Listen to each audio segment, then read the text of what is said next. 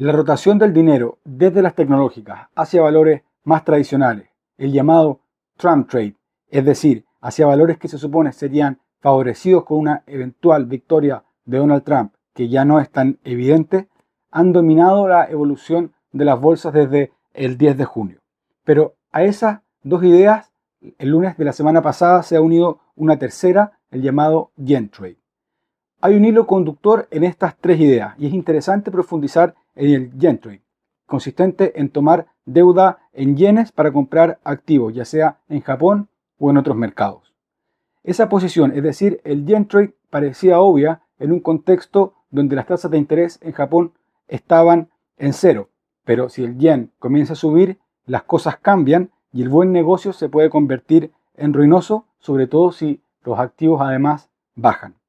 Hasta ahí está todo muy claro y la, la explicación oficial de lo sucedido el lunes de la semana pasada dejaría como al Banco Central de Japón como culpable de las caídas.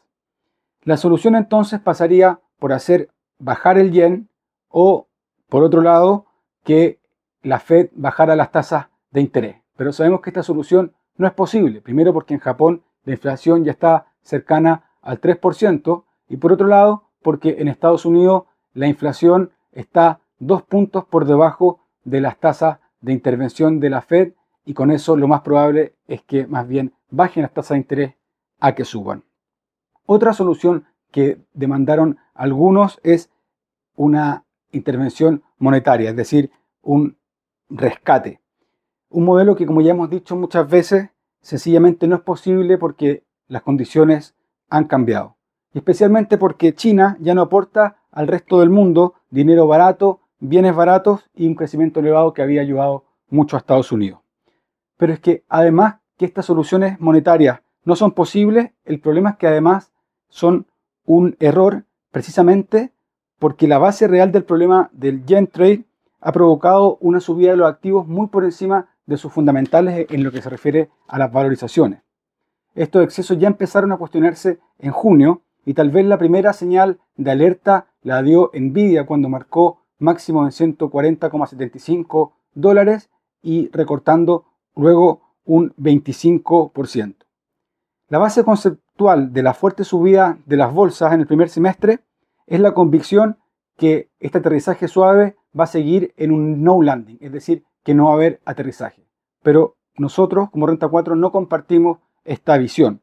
En nuestra opinión, lo que realmente habrá es un prolongado crecimiento bajo, con la inflación permaneciendo algo encima del 2% y que las intervenciones de los bancos centrales ya no van a ser del tipo rescate a todo el mercado, sino que va a ser un modelo de asistencia bastante selectiva y también condicionada. La sacudida de los mercados hace dos lunes atrás y con la histórica caída del Nikkei más de un 12% y la subida del índice VIX que llegó a niveles de 65, niveles que no se habían visto desde el COVID, ha puesto fin a ese sueño.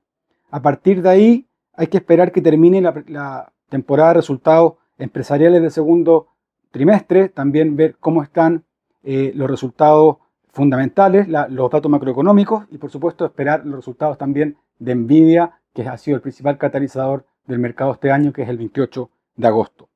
Nuestra visión alternativa a la rotación del dinero, el llamado Trump Trade y el terremoto provocado por la reversión forzosa del Yen Trade, tiene un hilo conductor en común y esto es el temor a un crecimiento económico menor de lo esperado, menor de lo que han estado descontando los actores del mercado.